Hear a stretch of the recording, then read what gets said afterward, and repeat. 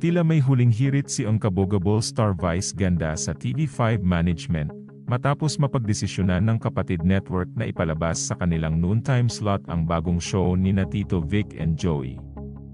Matatandaan na ang Kapuso Channel na GTV ang sumalo sa longest-running noontime show ng ABS-CBN. Kaya naman sa episode ng It's Showtime nitong June 23, ay tila pinaringgan ni Vice Ganda ang TV5, dahil mayroon agad na tirahan ang It's Showtime matapos sila iwanan nito. Sa segment ng It's Showtime na Rampanalo ay nagtanong ang komedyante sa Madlang People kung anong number ang gusto ng mga ito, na kanyang pipiliin para maging computerist of the day. Ayon kay Vice, Anong number ang gusto nyo? Magkakaibang number nga ang naging tugon ng madlang people sa tanong ni Vice Ganda, kaya naman napansin ito ni Chang Ami. Ayon kay Chang Ami, parang lahat number 5.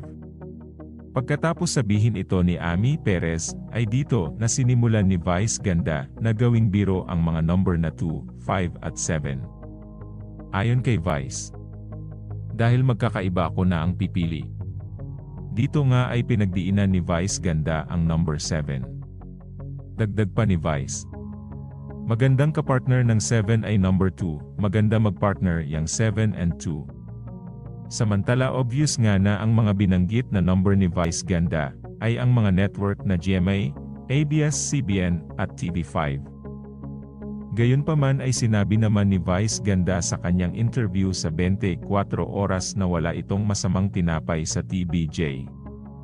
Kaya naman duda ng ilan ay sa mismong TV5 management mayroong sama ng loob ang komedyante. Sa kabilang banda ay wala pang tugon ang TV5 network sa mga naging pahaging na ito sa kanila ni Vice Ganda sa It's Showtime.